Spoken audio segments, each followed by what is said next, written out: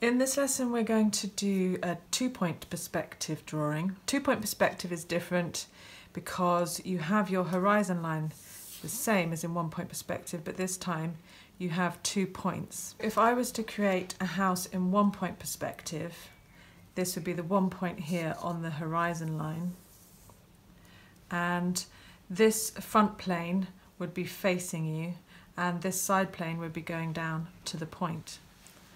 But if I did it in two point perspective, and this was your central line, this would be the same line on this house.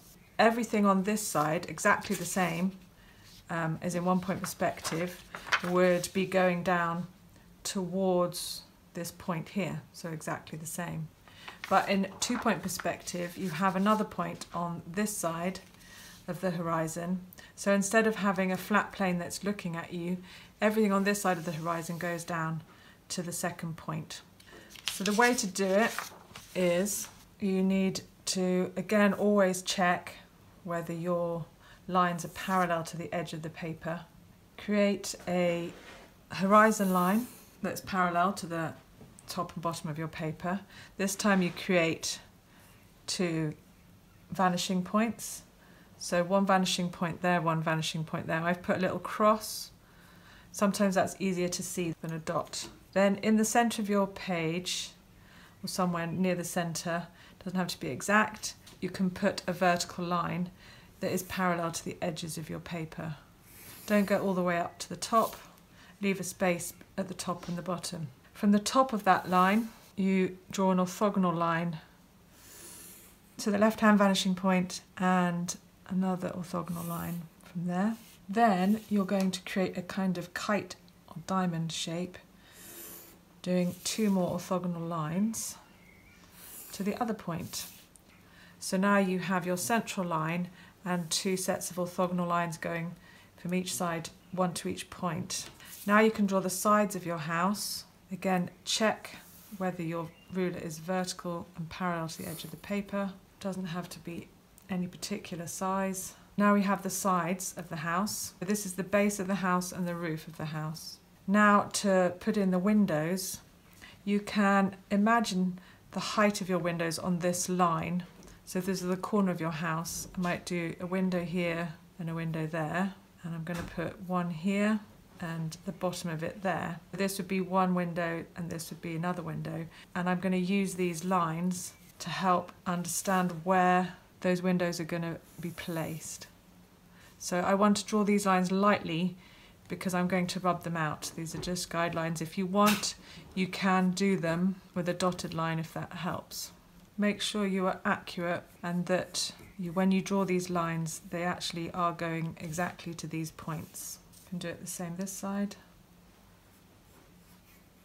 Now you have your orthogonal lines which show you where your windows are going to be on each sides of your house. Now we need to work out where the spacings are so if you imagine just a little bit to the left of your central line, you could draw a vertical line and another vertical line, again always checking that your ruler is parallel to the edge of the page. Then we have our first two windows, so the top and the bottom of these windows run along these orthogonal lines. Now I could do a door in the middle of this house and another window at the other end. Remember that this window would be smaller than this one, narrower, because it's further away. I can go straight up from that line and straight up from that line and create another window here.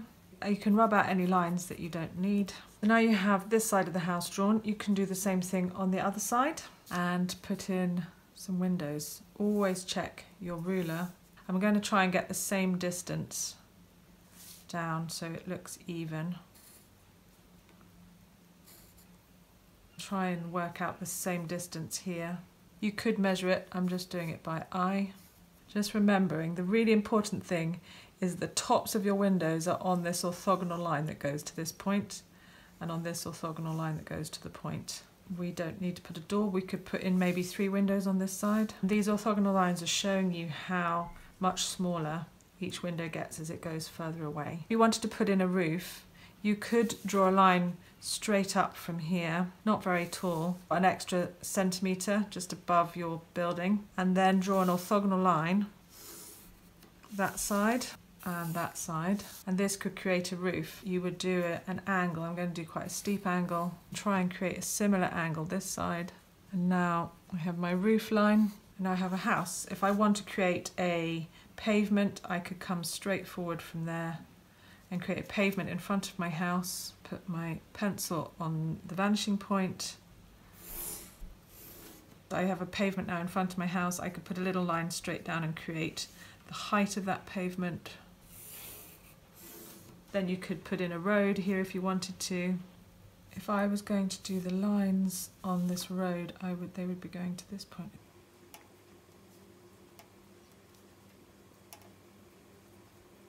When you're doing two-point perspective, you only really have a horizontal line if it's on the horizon line. Otherwise, you tend to have lines either going to this point or this point. You still have vertical lines though, going across. You could now add another house on either side if you like. You would just follow in those exact lines like we did before, remembering that this house would be a bit narrower than this one. If it's the same size house, it could be a different house. If you did a taller house, whatever size house you wanted to do next door, this edge would be the same as this edge of your house. You would draw a line to that point and a line to this point. Just remembering that your lines are going to go to both points from this corner line of your house. So any houses you build down here, you draw the corner line of your house in and you draw the lines to each point. Just remember whatever you add on either of these planes of your house, that you need orthogonal lines to show you where to place everything. The complicated bit is on this side of the house because you're behind this one it gets a bit confusing but just again remember that you're not doing horizontal lines you're coming to this point over this side. This line and this line here are coming to this point. All of your window lines would also come to this point. This would be an alleyway going between the two buildings. You can keep going. On this one I have done lots of buildings the whole way back. With this line here, if you want to stop your buildings from this point, you would take the line back to this point. So this line should be going to that point there. All of these alleyway lines, they're all going to the opposite point. So keep in mind where the front corner of your house is. Remember to keep your horizon line wherever you can see it because it really helps you to show the distance. You can add in anything in the sides of your picture and add in more details and colour. So have a go, have fun.